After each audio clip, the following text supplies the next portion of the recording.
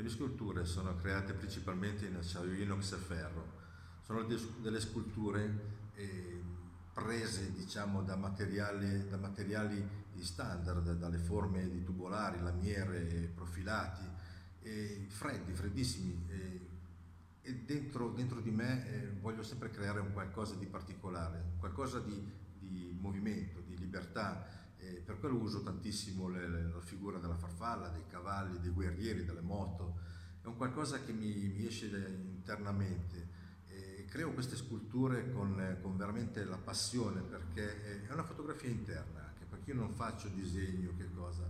Io parto inizialmente da quello che ho in testa e creo la scultura vedendola già finita perché è un qualcosa che mi fa star bene un qualcosa di, che mi dà senso di libertà le mie sculture principalmente sono quasi tutte eh, rotanti, diciamo, ruotano su se stesse e anche questo per dare più dinamismo, più eh, elasticità a, quello che si può interpretare, vedere e, e, anche questo è sempre un qualcosa di, di, movimento, un movimento che per me è principalmente importante. A volte inserisco anche dei, dei fregi di vetro o altri particolari, però principalmente sempre acciaio inox e ferro.